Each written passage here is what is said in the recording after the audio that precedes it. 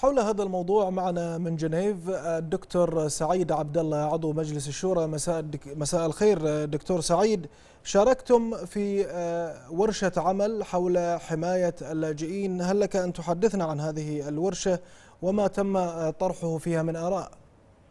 مساء الخير. طبعا موضوع اللاجئين تحديدا هو يمثل من أهم الموضوعات اللي تم استعراضها في هذا المؤتمر تحديدا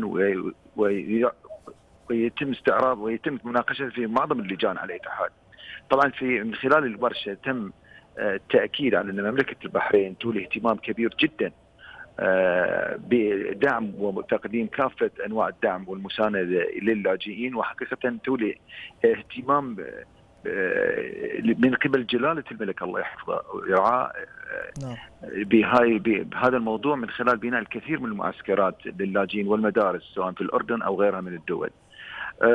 تم التأكيد تمت الإشارة إلى أن على الاتحاد البرلمان الدولي أن يهتم ويدرس الأسباب اللي تؤدي إلى ظاهرة انتشار يعني اللاجئين سواء من حاليا أو أو, أو من قبل وبالتالي وتم التأكيد حقيقه بالكثير من الدول على ما عرض أن يجب البحث في الأسباب وتجنب تكرار